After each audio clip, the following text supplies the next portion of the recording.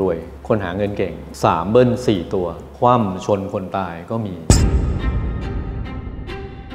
ช่างเจรจา ถ้าเราเอาไปใช้กับคนที่ไม่ค่อยพูด ต้องทำงานเซลล์ก็โอเค เบอร์มือถือ 3 ตัวแรกไม่นับ 081 ตัดทิ้ง 095 ตัดทิ้ง 7 ตัวที่เหลือเนี่ยในพื้นที่ 7 ตัวนี้ถ้ามีตัวเลขอะไรเยอะ ตรงนั้นมีอิทธิพล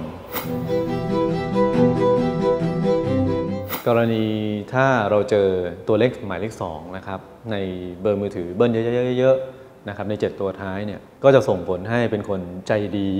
มีเมตตาสูงทำอะไรจะเชื่องช้า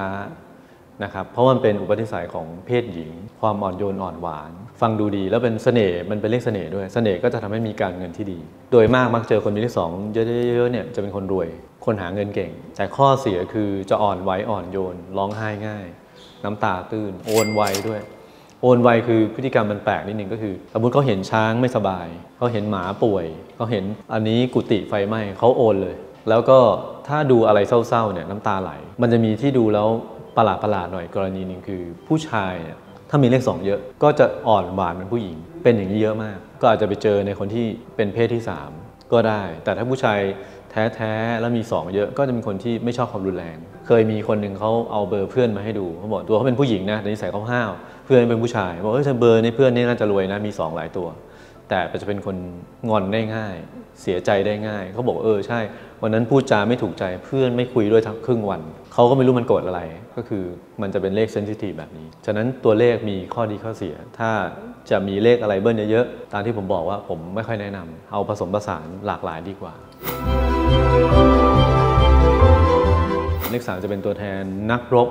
หรือคนที่มีกล้าม คนที่ชอบออกกำลังกาย บ้าพลังกรรมกร นักกีฬา อย่างนี้ก็น่าจะเหมาะคนที่ต้องออกแรงเยอะๆถามว่าคนไม่ออกแรงเยอะคนมีไหม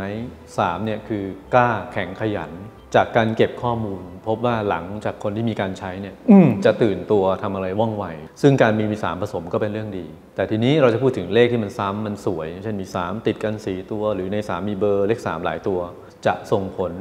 กลายเป็นแย่ได้ เพราะว่าอารมณ์จะรุนแรง จะดุดัน ปากเสียอารมณ์เสียได้ง่าย รอไม่เป็น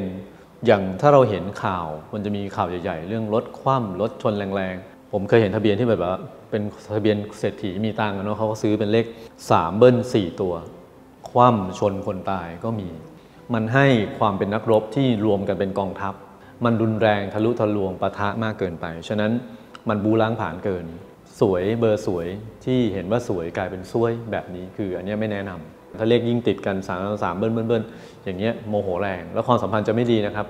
กับลูกน้องบริวารหรือแฟนบางทีมันจะรุนแรง แต่ถ้า 3 มาชน 5 3 มาชน 6 กลับกลายเป็นเรื่องดีพอ3กับ6ชนกันมีเงิน3กับ5ชนกันก็คือมีผู้ใหญ่เมตตาหนับดุลเลข4ก็จะมีอะไรที่ดูแล้วน่าสนใจนะครับ หลายประเด็น 4 อาจจะแทนการสื่อสารอย่างเราดูกันอยู่เนี่ยถือว่าเป็นการสื่อสาร